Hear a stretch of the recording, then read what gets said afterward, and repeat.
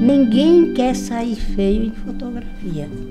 Então, você precisa procurar a posição que aquela pessoa fica mais bonita, porque geralmente a pessoa tem um lado do rosto diferente do outro, se um nariz está torto, tudo isso você pode com refletores, com iluminação, fazer a correção e completar no retoque, porque é o trabalho que o Photoshop faz, eu fazia à mão.